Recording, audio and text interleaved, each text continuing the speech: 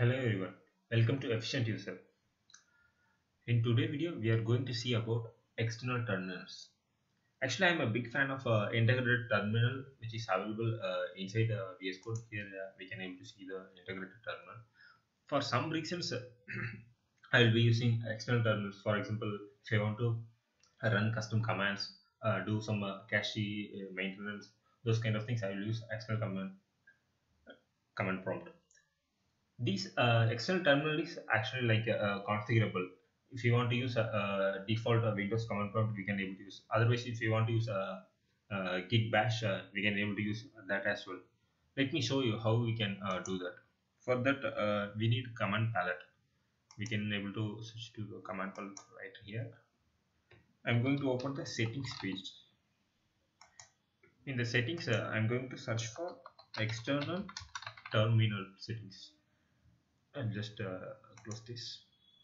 Here uh, we can able to see uh, for linux uh, what the default settings currently vs code is having. Here is uh, windows settings.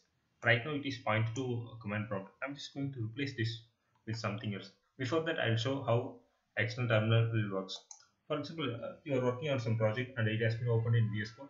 You want to open an external terminal right from the vs code. All you have to do is click control plus shift plus c it is control shift c.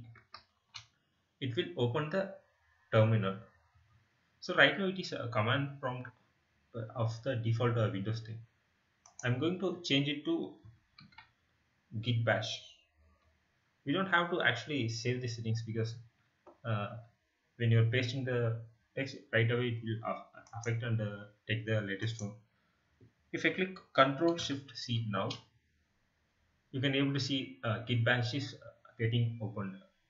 For example i wanted to commit the changes instead of using the default git uh, i can able to do right from here. So you can able to set your uh, target external terminal as as it is whatever things you needed. You can switch it to any other uh, third-party command prompts as well.